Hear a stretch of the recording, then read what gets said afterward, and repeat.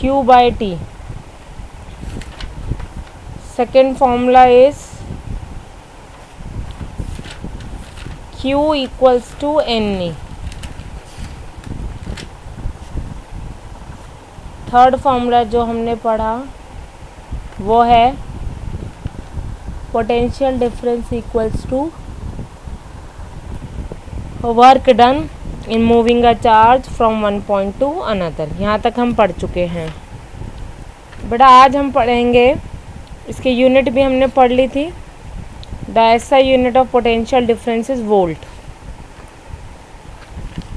so SI unit of potential difference is volt. In the honor of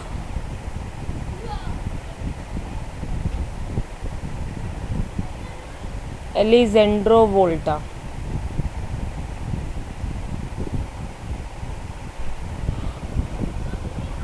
So so, volt है क्या? ध्यान सुनेंगे। Volt equals to work work की unit क्या होती है? Joule upon coulomb so joule शुरू से बताना शुरू से?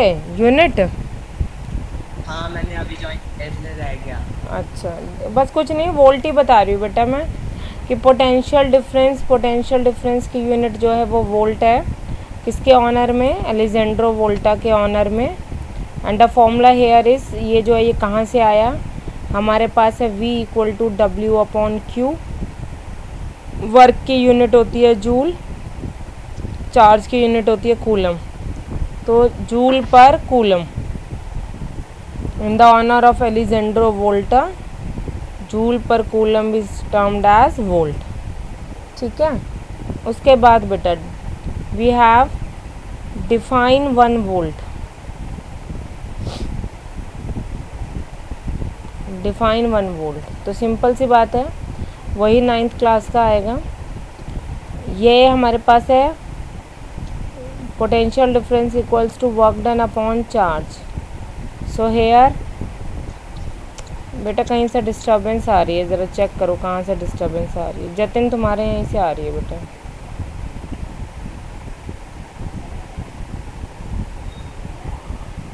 So we have v equals to W by Q तो इसमें बेटा पुट वर्क इक्वल टू जैसे नाइन्थ क्लास में करते हैं one joule and charge equals to one coulomb so work की जगह हम पुट करेंगे one coulomb sorry one joule और चार्ज की जगह हम पुट करेंगे।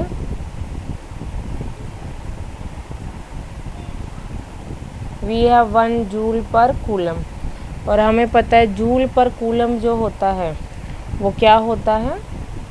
हम, क्या होता है? Joule per coulomb equal to volt तो वन वोल्ट सो हम कैसे डिफाइन करेंगे?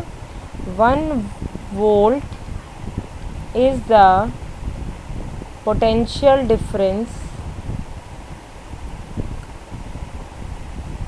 difference when 1 joule of work is done. When 1 joule of work is done